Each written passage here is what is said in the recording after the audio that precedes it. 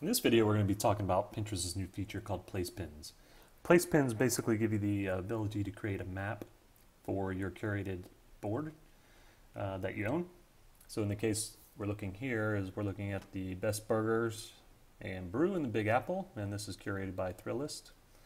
So if you scroll down the left-hand side here, um, we'll, you'll see the uh, different um, restaurants that they've curated.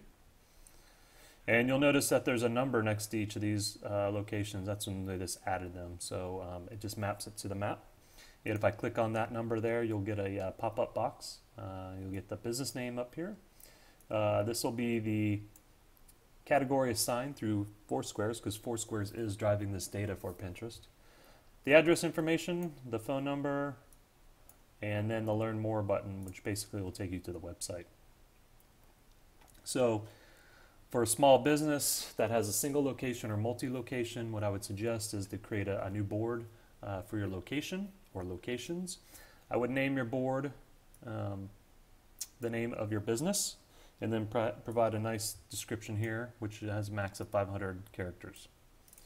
Once you do that, I would go back to your site and start pinning. So let's move over here. I'm going to quickly create um, a board, some great description about my business. Choose the category that's most appropriate for it. So let's just do technology at this point. And you want to add a map to it, just select that as yes.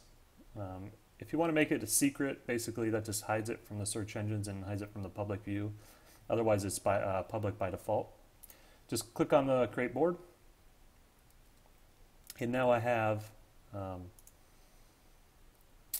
my new board here.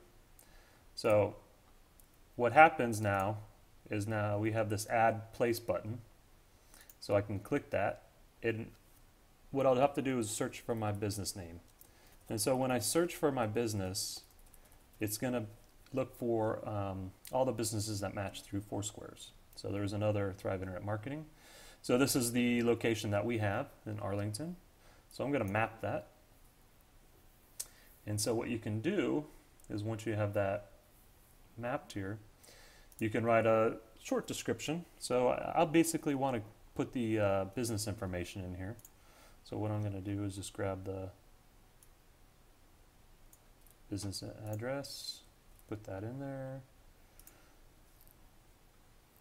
And say some great stuff about it. Great WordPress development company, Arlington, Texas.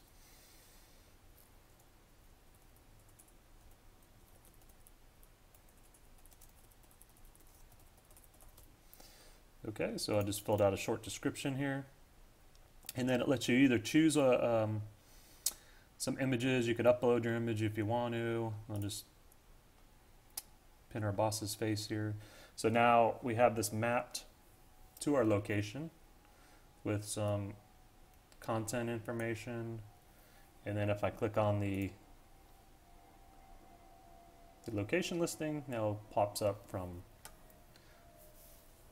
our Foursquares profile. So you could have multiple locations and map this. What I've seen is is that it these these individual boards are ranking and they are a good way to create business local business citations. And local business citations are just one factor that goes into helping you rank in the local search results on Google. Um, and so it's just a great way to, to have that and you have all your location information there. Um, and if you needed to you could always share that. But uh, but I think the biggest thing is the local search uh, building the citation for that so there you go. That's the new feature for Pinterest boards. And uh, hopefully you guys enjoyed it. Thanks.